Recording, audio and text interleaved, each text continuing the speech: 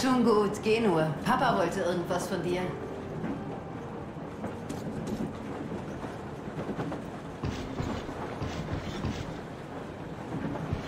Ah, hi, Archer. Wie gefällt es dir? Gereicht den höchsten Ansprüchen. Was hältst du von dieser Werkbank? Hm? Alles in Griffweite und trotzdem noch so viel Platz. Das meiste von dem, was ihr draußen gefunden habt, ist in diese Werkstatt eingeflossen. Also vielen Dank dafür. Das müssen wir auch weiterhin so machen. Offenbar haben wir eine lange Reise vor uns. Und Nützliches wie Munition und Ausrüstung wächst nicht auf Bäumen.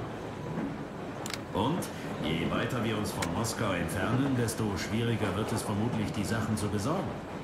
Also denk immer dran, alle Materialien einzusammeln, die du finden kannst. Es gibt so viel zu tun. Ich weiß noch nicht, wo ich an den Anzügen arbeiten werde, aber das wird sich bald zeigen. Es wird höchste Zeit, dass wir unsere Uniformen reparieren. Ein paar unserer Leute sehen bereits ziemlich zerlumpt aus. Dukes Schutzweste trägt den Rückenschutz nicht mehr. Daher witzelt er, dass es zum Glück nicht der Brustschutz ist, sonst wären seine Zehen in Gefahr. Ah, wie auch immer. Ich werde die kleine Bande wieder zu einer echten Armee machen. Raucherpause? Das ist gut.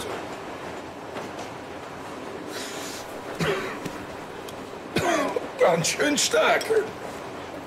Verdammt, ist die stark. Naja, aber nicht zu stark für uns.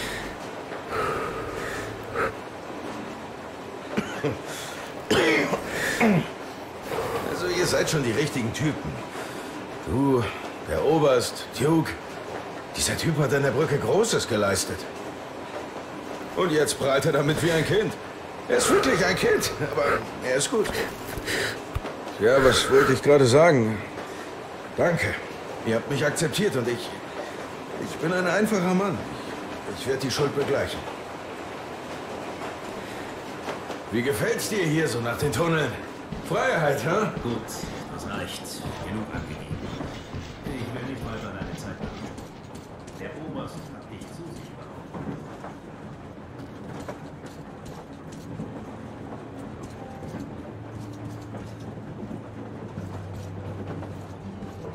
Artyom, komm rein und setz dich.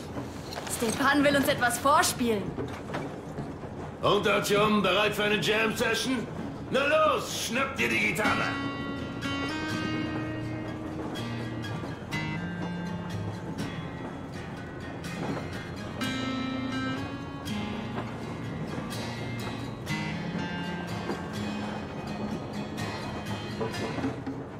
Danke, Stepan. Tut mir leid, wenn ich frage, Katja, aber Nastjas Vater, er ist tot, oder? Weiß Nastja das? Ja, ist er. Ich wollte es vor ihr verbergen und sagte, er sei zum Markt gegangen. Etwa drei Tage vergingen und ich behielt es für mich. Ich saß da mit einer Nadel in der Hand und konnte nichts sehen. Mir wurde schwarz vor Augen. Dann schlich sie sich zu mir und sagte, du musst weinen, Mama. Dann fühlst du dich besser. Senja hat es immer gesagt.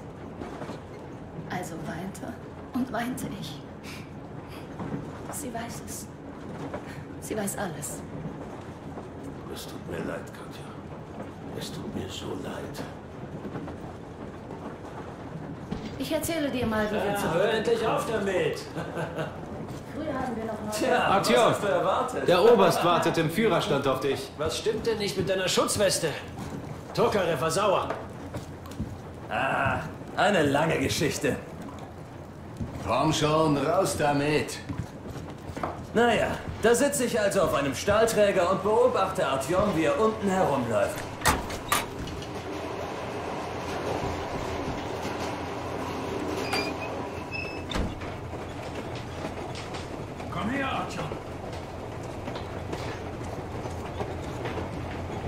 Hört zu! Ich habe mit der Arche gesprochen. Und zwar dank Tokarev. Er hat den Decoder ans Laufen gebracht. Arche, bitte kommen. Bitte kommen, Arche. Ende. Arche hier. Identifizieren Sie sich. Ende. Hier spricht Ober Vaterslav Malnikov, Kommandant einer Sondereinsatztruppe. Wir haben Ihr Signal empfangen und sind unterwegs zu Ihnen. Haben Sie verstanden? Ende.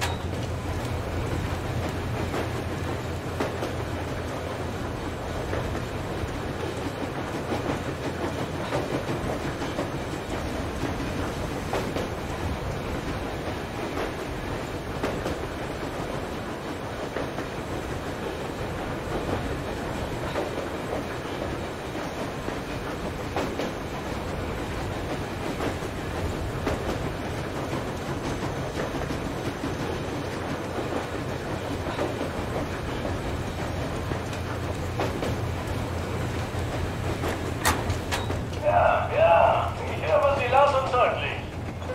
Mit wem spreche ich? Wie Sie ansprechen? Stellvertretender Leiter der Kommunikationsabteilung, Major Ivanov. Einen Moment. Oh ja, Herr Major. Natürlich müssen Sie eine Überprüfung durchführen. Also gut, Oberst äh, Melnikov. Einfach großartig. Ich entschuldige mich für den Mangel an Vertrauen, aber wie Sie wissen, ist die Situation ernst. Und der Feind kann jederzeit zuschlagen. Das verstehe ich, Herr Major. Und ich hoffe, Sie können der Führung mitteilen, dass meine Leute sehr pflichtbewusst sind und Ihnen bei unserer Ankunft voll und ganz zu Diensten stehen werden. Ende. Vielen Dank für die guten Nachrichten. Wie viel Mann umfasst Ihre Streitkraft, Oberst? Ich habe einen Trupp der besten Agenten, die unsere Spezialeinheiten zu bieten haben. Ein Trupp? Ah, ich verstehe. Nun, das ist gut. Sehr gut. Wir sind keine große Streitkraft. Aber wir überbringen eine extrem wichtige Nachricht. Wir kommen auf Sektor K6 Alpha zu Ihnen. Haben Sie Informationen über Feinde, auf die wir unterwegs treffen könnten? Ende. Einen Moment, bitte, ich schau mal nach. K6 Alpha, sagen Sie? Soweit ich das sehen kann, sind keine Feindbegegnungen aus dieser Gegend gemeldet worden. Ich muss unser Gespräch jetzt leider beenden, aber seien Sie versichert, dass wir Ihre Ankunft erwarten. Ich werde sofort Bericht erstatten und der Verteidigungsminister wird Sie sicher gern empfangen. Das ist eine große Ehre. Vielen Dank. Ein paar Worte aber noch. Wie ist die allgemeine Lage bei Ihnen, Herr Major? Bitte? Herr Oberst, Sie werden verstehen, dass diese Information geheim ist. Aber ich verstehe auch, dass Sie... Uns geht es gut, keine Sorge. Nun, wir sehen uns in der Arche. Ende und aus. Ich diene dem Volk. Ende und aus. Verstehst du jetzt, du ungläubiger Thomas?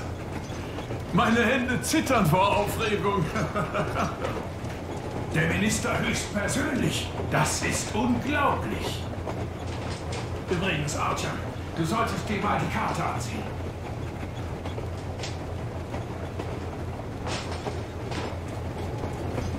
Wie du siehst, fahren wir fast geradewegs auf den Yamantau-Komplex zu.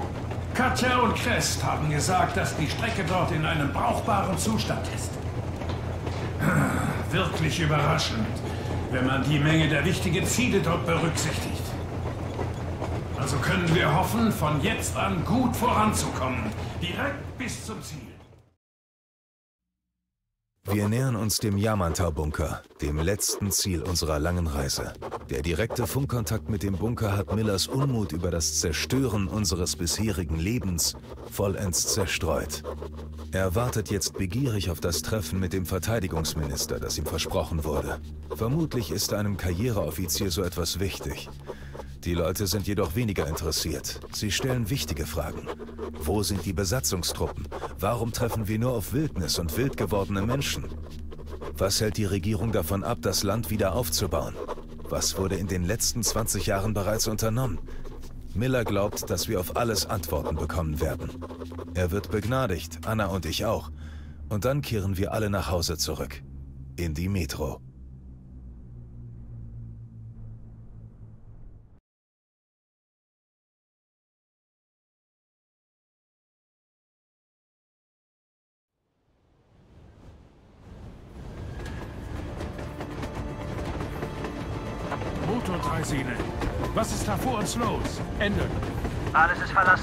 Aber die Bahnstrecke ist in Ordnung. Ende. Verstanden. Fahrt nicht so schnell und passt auf die Strahlung auf. Ende. Verstanden. Ich kann es noch nicht glauben. Wir sind da. Glaubst du es? Wir sind endlich da. Das war unser Ziel. Nicht nur seit Wochen oder Monaten, sondern seit 20 Jahren. Mein ganzes Leben. Und es war nicht umsonst. Jetzt kann ich es mit Sicherheit sagen. Guck mal, Mama. Hier sollen wir jetzt wohnen? Ich weiß nicht. Warum? Es gefällt mir hier nicht. Es ist unheimlich.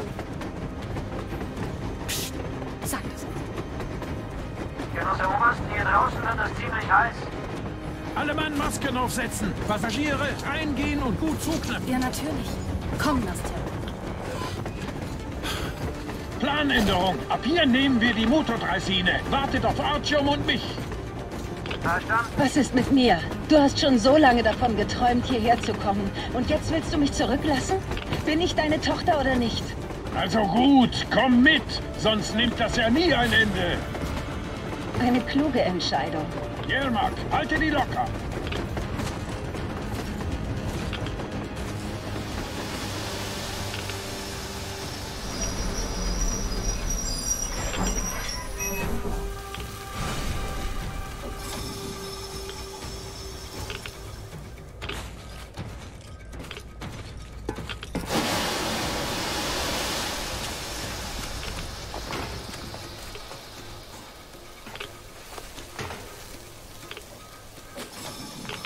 Bringt die Aurora zurück in die sichere Zone und bleibt dort. Machen wir sofort. Stefan, du übernimmst die Führung, solange ich weg bin. Jawohl. Sehr gut. Auf geht's. Verdammt, hier ist einiges runtergekommen. Schlimmer als in Moskau. Ja, sieht so aus.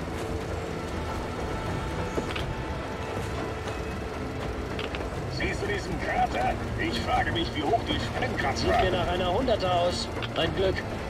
Ihr habt doch auch 300er und 500er eingesetzt. Tja, aber hier scheint doch eine Hunderter Ja. gereicht zu haben.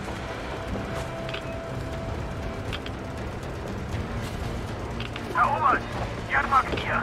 Wir sind in der sicheren Zone. Strahlung äußerst gering. Warten auf Ihre Rückkehr. Ende. Gut. Miller, Ende und aus.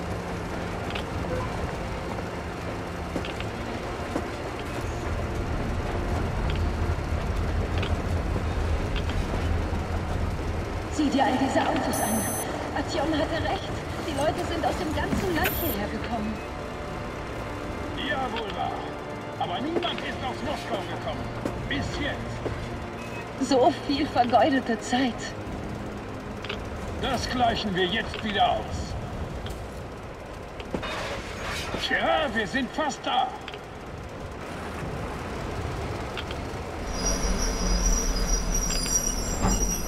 Oh, oh, oh, oh, das ist kein guter Ort. Wir hätten wirklich nicht hierher kommen sollen. Äh, wo ist jetzt mein Begrüßungskomitee mit dem roten Teppich? Das verstehe ich nicht. Seht ihr? Keiner zu Hause. Wie wäre es, wenn wir umkehren, ne? Da!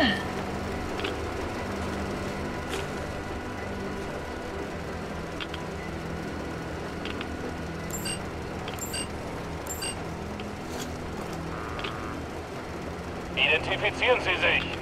Oberst Miller, mit einer Meldung für den Verteidigungsminister. Und wo sind Ihre Leute, Herr Oberst?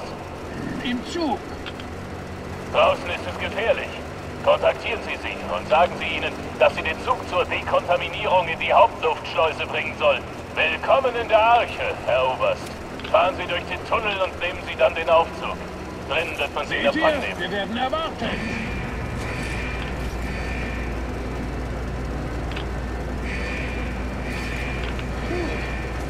Ich